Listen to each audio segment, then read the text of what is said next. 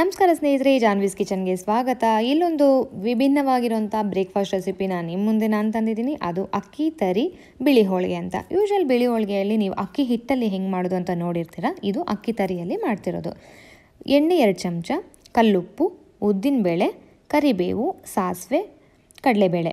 ಅಕ್ಕಿ ತರಿ ಒಂದು ಕಪ್ಪು, ಮೂರು ಕಪ್ನಷ್ಟು ನೀರು. ಇವೆಲ್ಲ ನಮಗೆ ಬೇಕಾಗಿರೋಂಥ ಇಂಗ್ರೀಡಿಯೆಂಟ್ಸ್ ಸೊ ಒನ್ ಇಷ್ಟು ತ್ರೀ ರೇಷಿಯೋ ಇಲ್ಲೊಂದು ದೊಡ್ಡ ಬಟ್ಲು ಒಲೆ ಮೇಲೆ ಇಟ್ಕೊಂಡು ಎರಡು ಮೂರು ಚಮಚದಷ್ಟು ಎಣ್ಣೆ ಹಾಕಿ ಇದಕ್ಕೆ ಸಾಸಿವೆ ಹಾಕೋಣ.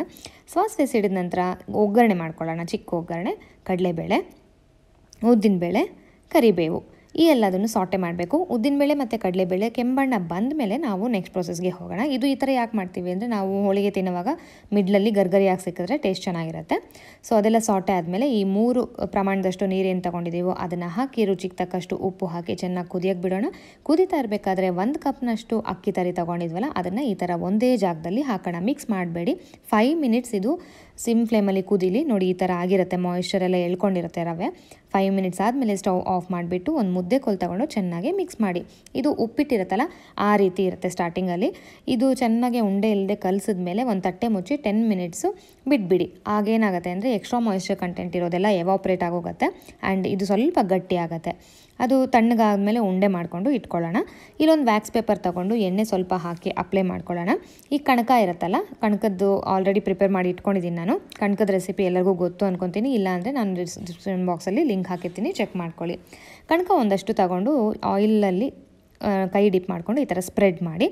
ಈಗ ನಾವು ಅಕ್ಕಿ ತರಿದು ಮಾಡ್ಕೊಂಡಿದ್ವಲ್ಲ, ಅದು ಒಂದು ಕಿತ್ಲೆ ಹಣ್ಣು ಗಾತ್ರದಷ್ಟು ಉಂಡೆ ತಗೊಂಡು ಚೆನ್ನಾಗಿ ಪ್ಯಾಕ್ ಮಾಡಿ. ಈ ಒಬ್ಬಟ್ಟು ಮಾಡ್ತೀವಲ್ಲ, ಅದೇ ಪ್ರೊಸೆಸ್ಸು ಫಾಲೋ ಮಾಡಬೇಕು. ನೀಟಾಗಿ ಪ್ಯಾಕ್ ಮಾಡಿ ಸ್ವಲ್ಪ ಎಣ್ಣೆ ಡಿಪ್ ಮಾಡ್ಕೊಂಡು ಮಾಡಿಕೊಂಡು ಇದನ್ನು ರೊಟ್ಟಿ ತಟ್ಟದಂಗೆ ತಟ್ಟಬೇಕು. ನೀವು ಬೇಕಾದರೆ ಪ್ಲಾಸ್ಟಿಕ್ ಕವರನ್ನು ಹಾಕಿ ಇದನ್ನು ಸ್ಪ್ರೆಡ್ ಮಾಡ್ಕೋಬೋದು ತಳ್, ತೆಳ್ಳಗೆ ಬರುತ್ತೆ ಫ್ರೆಂಡ್ಸ್ ಈ ಥರ ತಟ್ಕೊಂಡ್ರೆ. ಆ್ಯಂಡ್ ನೋಡಿ ನೀವು ನೋಡ್ಬೋದು ಡಿಫ್ರೆಂಟಾಗಿರುತ್ತೆ ರೆಸಿಪಿ ಆ್ಯಂಡ್ ಮುರಿಯೋದೇ ಇಲ್ಲ.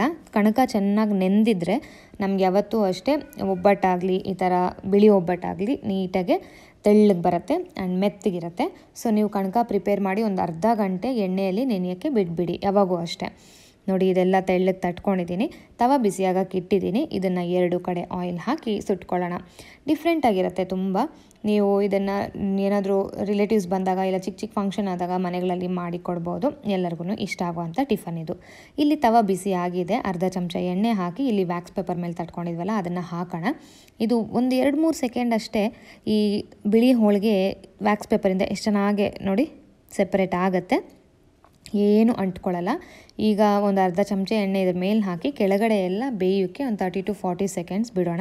ಗೋಲ್ಡನ್ ಬ್ರೌನ್ ಸ್ಪಾಟ್ಸ್ ಎಲ್ಲ ಆಗೋಕ್ಕೆ ಸ್ಟಾರ್ಟ್ ಆಗುತ್ತೆ. ಸೊ ಆಗಿದೆ. ಕೆಳಗಡೆ ಎಲ್ಲ ಈಗ ತಿರು ಹಾಕಿ ಈ ಕಡೆಯೂ ಸೇಮು ಬೇಯಿಸ್ಕೊಳ್ಳೋಣ. ತುಂಬ ಎಣ್ಣೆನೂ ಬೇಕಾಗಿಲ್ಲ ನಮಗೆ. ಒಂದು ಕಡೆ ಹಾಕಿದ್ರೆ ಸಾಕು. ಈಗ ಎರಡನೇ ಕಡೆನೂ ಬೆಂದಿದೆ. ಇದನ್ನು ಸರ್ವ್ ಮಾಡೋ ಸಮಯ. ಇದನ್ನು ಕೊಬ್ಬರಿ ಜೊತೆ ಕೊಬ್ಬರಿ ಚಟ್ನಿ ಜೊತೆ ತಗೋಬೋದು, ಈರುಳ್ಳಿ ಚಟ್ನಿ ಜೊತೆ ಡಿಫ್ರೆಂಟ್ ಟೈಪ್ಸ್ ಆಫ್ ಕರೀಸ್ ಜೊತೆ ತಗೋಬೋದು, ಅಥವಾ ಹಿತ್ಕಿನ ಬೇಳೆ ಸಾರು ಜೊತೆ ಸೂಪರಾಗಿರುತ್ತೆ thanks for watching my video friends ನಿಮ್ಗೆ ಇಷ್ಟ ಆಯಿತು ಅಂತ ನಾನು ಭಾವಿಸ್ತಾ ಇದ್ದೀನಿ.